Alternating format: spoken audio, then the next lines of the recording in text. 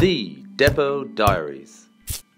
Hi, I'm Lucy. So I'm the marketing coordinator here at Sustainable Salon. So I work with the marketing team on all of our awesome campaigns and I also coordinate all the events here.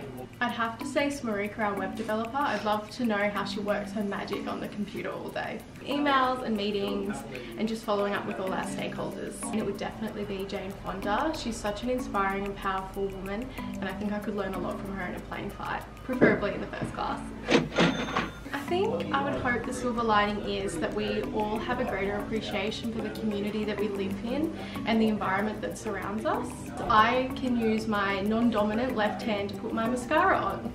Um, I always use the classic fact that aluminium can be infinitely recyclable because everyone seems surprised when you tell them that. Stop straightening your hair every day. I think the biggest tip would be to keep in touch with your friends and family via FaceTime, video chat, and to try not to get stuck in the Netflix bubble that I think I would definitely get stuck in unless I had my family and friends to lean on for support. That's it.